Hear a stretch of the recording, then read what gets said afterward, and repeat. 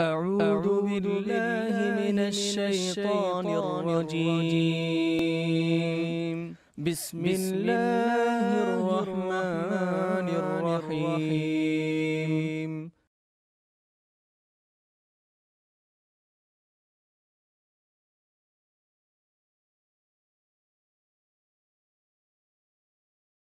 الحمد لله رب العالمين. والصلاة والسلام على رسوله النبي الأمين وعلى آله وأصحابه وأزواجه وسلم تسليما كثيرا. فأعوذ بالله السميع العليم من الشيطان الرجيم. من همزه ونفخه ونفسه بسم الله الرحمن الرحيم. يا أيها الذين آمنوا قوا أنفسكم وأهليكم نارا. محترم ناظرین و سامعین السلام علیکم ورحمۃ اللہ وبرکاتہ آج کا جو ہمارا موضوع ہے، بچوں کی غلطیوں کی اس طرح اصلاح کس طرح کی جائے؟ بچے جو آج بگاڑ کے شکار ہو رہے ہیں، بچوں میں بہت ساری ایسی باتیں جو غیر اسلامی باتیں ہیں، غیر اسلامی کردار ہیں، غیر اسلامی جو ہے طور طریقے بچے اپنا رہے ہیں۔ تو اس سلسلے میں جب بچے سے غلطی ہو تو اس کی اصلاح ہم کیسے کر سکتے ہیں؟ اس سلسلے میں شریعت نے ہماری کیا رہنمائی کی ہیں؟ اللہ کے نبی صلی اللہ علیہ وسلم نے کن اسالیب کو اختیار کیا؟ صحابہ کرام کا کیا طرز عمل رہا؟ اور اسی طرح تابعین، طب تابعین اور بعد کے ادوار کے لوگ اور موجودہ دور کے علماء کرام کس طرح جو ہے بچوں کی اصلاح کرتے ہیں یا کرنا چاہیے؟ اس سلسلے میں بہت ساری باتیں علماء نے جو ہیں تجربہ کار لوگوں نے بیان کی ہیں اور بہت ساری باتیں اس سلسلے میں ملتی ہیں۔ تو دیکھیے بچے کی غلطی جب بچے سے ہو جائے، غلطی ایک فطری چیز ہے، انسان سے ہوگی۔ خاص طور سے بچے جو ہیں معصوم ہوتے ہیں، ان کو جو ہے اتنا احساس نہیں ہوتا، اتنا شعور نہیں ہوتا، بعض غلطیاں وہ جان بوجھ کے بھی کرتے ہیں یا ان کی عادت سے ہو جاتی ہیں۔ تو اس سلسلے میں، اس سلسلے میں جو ہے اسلام نے ہماری یہ رہنمائی کی ہے کہ ہم نہایت مشفقانہ انداز میں جو ہے بچے کی تربیت کریں۔ اس کی ترغیب ہمیں دی گئی ہیں اور علاج کا صحیح طریقہ بھی یہی ہے کہ ہم نرمی اختیار کریں، پیار سے جو ہے، نرمی سے اس غلطی پر جو ہے تنبیہ کریں اور مضبوط دلیل کے ساتھ جو ہے بچے کو سمجھانے کی کوشش کریں کہ اس سے جو غلطی ہوئی ہیں، وہ ایسی غلطی ہے کہ کوئی بھی عقل مند انسان جس کو بھی اللہ نے عقل دی ہے، سمجھ دی ہیں بعض بچے جو ہے بہت عقل مند ہوتے ہیں، سمجھدار ہوتے ہیں۔ ان کے ذہن میں بات بٹھائی جائے کہ تم نے جو کام کیا بیٹا، یہ اچھے لوگ ایسا نہیں کرتے۔ تم جیسے اچھے بچے آپ جو ہے بہت اچھے بچے ہیں، بہت اچھے بچوں میں آپ کا شمار ہوتا ہے۔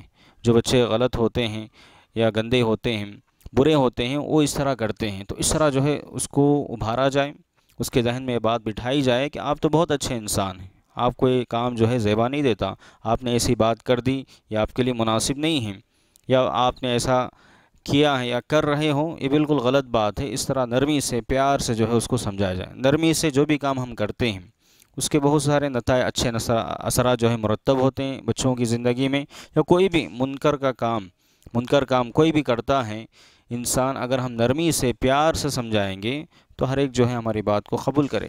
وہیں اگر سختی اگر ہمارے اندر آ جائے، جیسا کہ آج بہت سارے ہم معاشرے میں دیکھتے ہیں، اسکولوں میں، کالجوں میں، مدارس میں کہ تربیت کا جو غلط طریقہ جو ہے اپنایا جاتا ہے۔ ایک تو ہمیں نفرت ہونی چاہیے اس غلطی سے۔ ہمیں بچے سے غلط نفرت نہیں ہونا چاہیے۔ ہمیں غلطی کرنے والے سے نفرت نہیں ہونا چاہیے۔ بلکہ ہم پورا اپنا جو ہے خیر خانہ انداز اس کے سامنے بالکل واضح کریں۔ ظاہر کریں کہ ہم آپ کے خیر خواہ ہیں۔ بچے کو احساس ہو کہ جو بتا رہے ہیں ہمارے بھلے کے لیے بتا رہے ہیں۔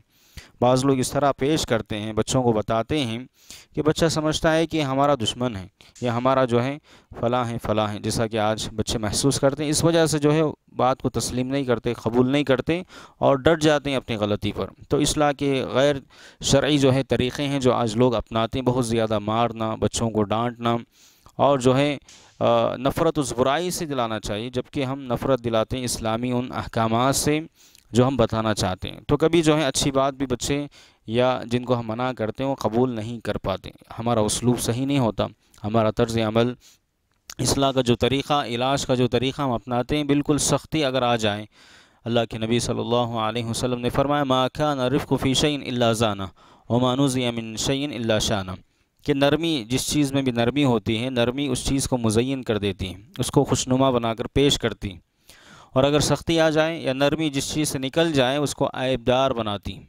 تو ہمیں چاہیے کہ ہم بچوں کی صحیح اصلاح کرتے ہوئے نرمی اور پیار و محبت سے جو ہے ان کو سمجھائیں اور جو غلطی وہ کر رہا ہے اس سے اس کو نفرت دلائیں کہ بری چیز ہے، اچھے لوگوں کی عادت نہیں ہے، ایسا نہیں ہونا چاہیے۔ اسی طرح اگر یہ طریقہ پیار و محبت کا، نرمی کا طریقہ اگر کارگر نہ ہو، مفید ثابت نہ ہو، تو دوسرا جو طریقہ شریعت نے ہمیں بتایا ہے وہ یہ ہے کہ ہم نرم انداز میں جو ہے سزا دیں۔ سزا بھی دیں تو نرم انداز میں۔ بچے کو یہ لگے کہ ادب کے لیے ہی مارا جا رہا ہے۔ کوئی ذاتی دشمنی ہماری نہیں۔ بچوں کو احساس ہونا چاہیے کہ ہمیں ادب سکھانے کے لیے، ہمیں اچھا بنانے کے لیے، ہمارے بھلے کے لیے جو ہے یا دوسروں کو شر نہ پہنچے، اس مقصد سے جو ہے ہمیں مارا جا رہا ہے۔ بچوں کو احساس ہونا چاہیے۔ تو یہ بھی بہت بہترین جو ہے انداز ہے جس کی شریعت نے ہمیں تعلیم دی ہے، تاکید کی ہے۔ دیکھیے اللہ کے نبی صلی اللہ علیہ وسلم کی زندگی میں بہت سارے ایسی مثالیں ہمیں ملتی ہیں۔ خاص طور سے ابو حریرہ رضی اللہ تعالیٰ عنہ کی وہ روایت۔ اسی طرح انس رضی اللہ تعالیٰ عنہ سے مروی ہیں۔ دیہاتی کا واقعہ، وہ اس بدو کا واقعہ جس نے آ کر جو ہے مسجد میں پیشاب کر دیا تھا۔ تو لوگ صحابہ جو ہے اس نے اس کو روکنے کے لیے دوڑے۔ قریب تھا کہ صحابہ اس کو مار دیتے۔ اللہ کے نبی صلی اللہ علیہ وسلم نے فرمایا، دعوه وحرقوا على بوله ذنوب مما او سجل مما ان، فانما بعثتم مؤثرین ولم تبعثوا مؤثرین۔ اللہ کے نبی صلی اللہ علیہ وسلم، صحیح بخاری کی روایت ہے، باب الادب کی، کتاب الادب کی۔ اللہ کے نبی صلی اللہ علیہ وسلم نے صحابہ کو بالکل روک دیا، کہا کہ رک جاؤ، اس کو جو ہے پیشاب کرنے اللہ کے نبی صلی اللہ علیہ وسلم نے دیا۔ پھر جب وہ فارغ ہوا تو اللہ کے نبی صلی اللہ علیہ وسلم نے صحابہ کو حکم دیا کہ ایک پانی کا ڈول لائیں اور اس پیشاب پر جو ہے بہا دیں۔ پھر اللہ کے نبی صلی اللہ علیہ وسلم نے آخر میں کہا کہ دیکھو، تمہیں آسانی کرنے والا بنا کر بھیجا گیا۔ اس امت کو جو ہے اللہ کے نبی صلی اللہ علیہ وسلم نے کہا، خاص طور سے مربیان، سرپرست، نگران کو تاکید کی کہ آپ لوگ آسانی کے لیے بھیجے گئے، کہ تم آسانی کرو، لوگوں کے لیے آسانی کرو۔ اور کہا نہ مشکلات اور سختی پیدا کرنے کے لیے تمہیں نہیں بھیجا گیا۔ تو یہ سخت تاکید اللہ کے نبی صلی نے کی ہے۔ نرمی اختیار کریں، آسانی ہم کریں۔ جہاں تک ہو سکے اس کے بہت اچھے نتائج جو ہے سامنے آتے ہیں۔ خود دیکھیے اس عرابی نے آخر میں کیا کہا؟ وہ متاثر ہوا۔ اللہ کے نبی صلی اللہ علیہ وسلم کے طرز عمل سے متاثر ہوا۔ آپ کی جو ہے اسلوب سے متاثر ہو کر اس نے آخر میں دعا کی اللہ سے۔ اپنے لیے دعا کہ اللہ مجھ پر رحم فرما اور محمد صلی اللہ علیہ وسلم پر رحم فرما۔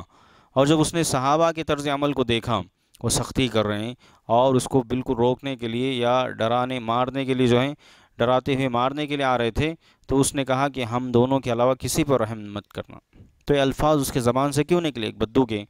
اس لیے کہ سختی کی وجہ صحابہ جو سختی، فطری چیز ہے، انسان غصہ ہوتا ہے، لیکن ایسے حالات میں بھی ہمیں اس بات کا حکم دیا گیا کہ ہم جو ہے نرمی اختیار کریں، ہو سکتا ہے سامنے والا جو ہے ہماری بات کو مان لے، تسلیم کریں اور ایسی حرکت پھر دوبارہ نہ کرے۔ خاص طور سے بچوں کے سلسلے میں بات چل رہی ہیں۔